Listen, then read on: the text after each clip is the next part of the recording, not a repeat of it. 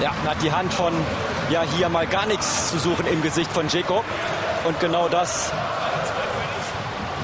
erzählt ihm jetzt auch sicherlich der Bosnier.